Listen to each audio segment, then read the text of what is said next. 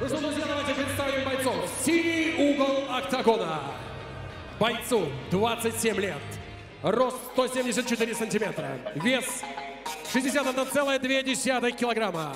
Спортивные достижения. Мастер спорта по панкратиону. Мастер спорта по боевому самбо. Мастер спорта по ММА. Профессиональный рекорд 3-3. Представитель Таджикистана. Надир Али Дода. Красный угол октагона. Бойцу 24 года. Рост 169 сантиметров. Вес 61,2 килограмма. Мастер спорта по рукопашному бою. Мастер спорта по боксу. Чемпион Казахстана по рукопашному бою. Рекорд 3-0. Представитель Казахстана. Алдияр Мансурбек.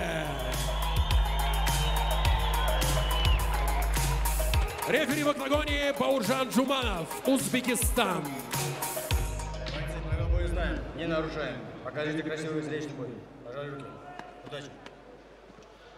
барлығы жекпе жекке дайын нодир алидодов тәжікстан алдияр мансурбек қазақстан аса жеңіл салмақтағы рейтингтік жекпе жек және тәжік спортшысының дене бітімін байқауға болады. Қарсыласына қарағанда әлдеқайда денелі. Бойы ұзындау бірден лоу киктен бастап отыр али додов. Әрине октагондағы сәтсіз дебюттан кейін қазір жеңіс жолына шығуға тырысатын болады. Аяқта өте жеңіл қимылдауда. Мансұр жинақы жоғарыда айтқан болатынбыз бокс жекпе жек сайысынан спорт шебері сондықтан қазір соққыға көп көңіл бөлетін болады әсіресе қолмен. Міне алғашқы клинч. Али додовтың ә, жоспарын бірден ақ түсінуге болады әрине. Қарсыластың стилін тәжірибесін ескеретін болсақ әрине күресу керек. Иә сәл ғана жақын қалды қарсыласының арқасына шығып кетуге. Али додов әзірше барлығын дұрыс істеп отыр. Тактикалық тұрғыдан тіземен қазір қарсыласының жамбасына жасалған соққылар. Ал мансұр мансұрбек алдиярға қазір қарсыласына бұрылу керек қалай да болсын. Толықтай өзіне ыңғайлы тұс таба алмаған сияқты. Али додов сәл ғана жақын қалды. Қарсыласын көтеріп алуға. Әзірше қорғанысы сыр берген жоқ. Мансұр керемет. Гильотина бірақ қорғанып шыға алды. Али додов соққы алмасу. Ашық ұрысқа кірісті бірден. Қазақстандық спортшы. Есе қайтарудың жолын іздеп жүрген шығар. Хайкик алғашқы хайкик бүгінгі дәл осы жекпе жекте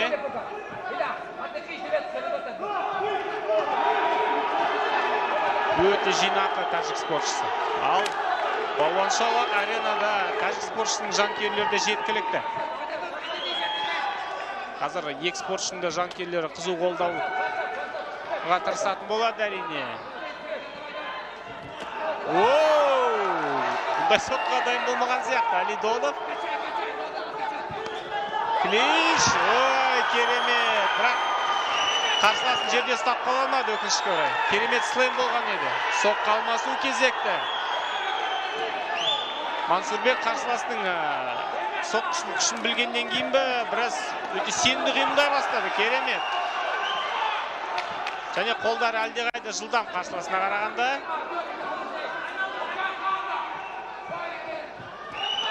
Міне тағы да аяққа ұмтылды бұндай таңдауды шыны керек өзім де түсінген жоқпын. Өте жақсы келе жатқан еді. Қарсыласы әлдеқайда әлдеқайда денелі екенін ескеретін болсақ мансұрбек алдиярдың бұндай шешімін түсіндіру қиын. Иә қазір алидодов ыңғайлы позицияға шықты. Бірнеше ауыр соққы. Иә тым болмағанда гард позициясында қорғануға мүмкіншілік пайда болады әрине. Иә бір ғана қателігі қазір. Алдияр мансұрбектің міне осындай қиын позицияға келіп тіреді. Өте сауатты қорғануда.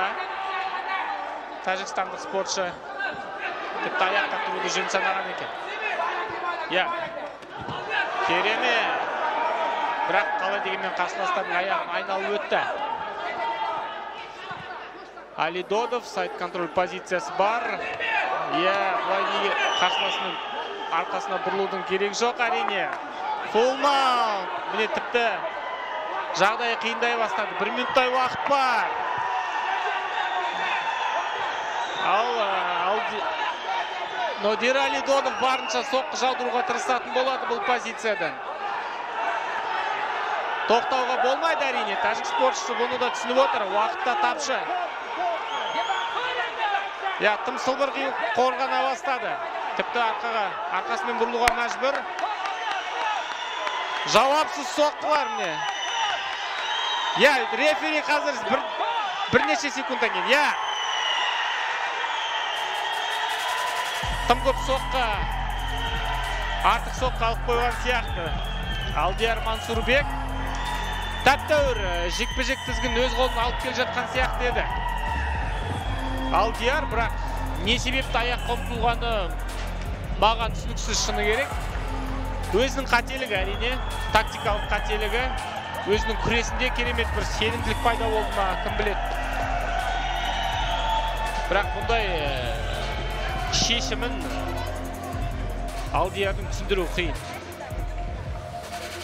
Өзінің қателігі әрине бұны түсініп тұрмыз иә бұндай соққылардың сондай бір керемет зақымы да жоқ бірақ ешқандай қорғаныс болған жоқ сондықтан қаншама жауапсыз соққы болды